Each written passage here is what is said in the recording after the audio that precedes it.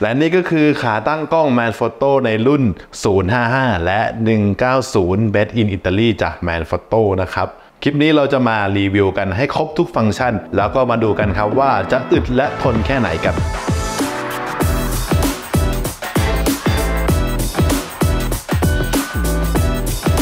ขอเริ่มกันที่ซีรีส์ 055 กันก่อนนะครับ โดยแบ่งออกมาเป็น 2 วัสดุ นั่นก็คือในกลุ่มคาร์บอนไฟเบอร์และอลูมิเนียม ในซีรีส์ 055 จะมาเฉพาะขาตั้ง ซึ่งทั้ง2วัสดุก็จะมีความต่างกันที่ท่อนขา ส่งผลต่อส่วนสูงและน้ำหนักเพียงเล็กน้อย อลูมิเนียมจะเป็นขา 3 ท่อน ส่วนคาร์บอนไฟเบอร์ จะมีขา 3 ท่อนและ 4 ท่อนและสำหรับในซีรีส์ 190 นะครับ ตอนนี้เราก็มีจำหน่ายด้วยกันอยู่ 3 รุ่น นั่นก็คือในรุ่น MT 190 CX Pro 4 ขาคาร์บอนไฟเบอร์ ท่อนขา 4 ท่อนนะครับ และสำหรับในส่วนของอลูมิเนียมก็จะมีให้เลือกด้วยกันอยู่ 2 รุ่นนั่นก็คือ รุ่นที่เป็นหัวทีเวและรุ่นที่เป็นหัวบอลครับผม ก่อนอื่นเราก็จะมาดูกันก่อนนะครับว่าขาตั้งในรุ่น 055 และ 190 เนี่ยมันแตกต่างกันอย่างไรบ้าง ก็บอกเลยครับว่าจริง ๆ แล้วทั้ง 2 รุ่นเนี่ยมันหน้าตาและดีไซน์เนี่ยเดียวกันเลยนะครับผมเพียงแต่ว่าอาจจะแตกต่างกันในเรื่องของไซส์และขนาดความสูง และการรับน้ำหนักนั่นเองนะครับรู้ไหมคะ ว่าขา 3 ท่อนและ 4 ท่อน มีการใช้งานที่แตกต่างกันยังไง ขา3ท่อน จะให้ในเรื่องของความมั่นคงแข็งแรงที่มากกว่า อีกทั้งปลายขาทางด้านล่างมีขนาดที่ใหญ่กว่า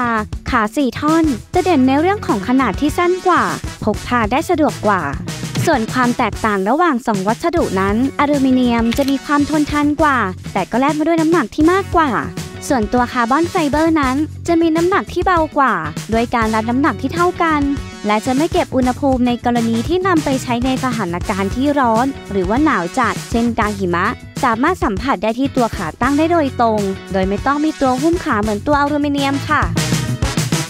สำหรับฟังก์ชันแรกที่เราอยากจะโชว์ให้ดูนั่นก็คือในเรื่องของแป้นพร้อมระดับน้ำที่อยู่ตรงนี้นะฮะ เราจะสามารถปรับหมุนได้รอบตัวเลยนะครับ ไม่ว่าเพื่อนๆจะใส่กับหัวบอลหัววิดีโอ เราสามารถที่จะปรับหมุนได้นะครับ เพื่อให้เห็นระดับน้ำว่าตั้งกล้องตรงแล้วหรือยังและในส่วนต่อมาที่เราภูมิใจนำเสนอนั่นก็คือในเรื่องของ 90 องศาคอลัมน์ที่ทำได้ง่าย แม้เพียงแค่มือเดียว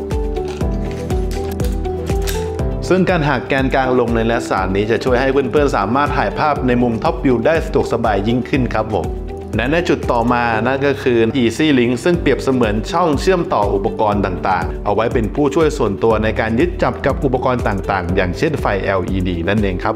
และสำหรับการออกแบบสลักในการกางองศาขาตั้งกล้องก็ทำได้ง่ายมากครับ โดยสามารถกางได้ออกทั้งหมด 4 ระดับ 1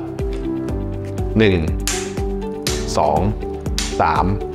และ 4 และด้วยความที่สามารถกางองศาขาออกมาได้กว้าง บวกกับแกนกลางที่พับได้ เราจึงสามารถกางราบได้ต่ำในระดับความสูงเพียง 8 เซนติเมตรเท่านั้น เหมาะมากๆสำหรับการถ่ายภาพมาโคร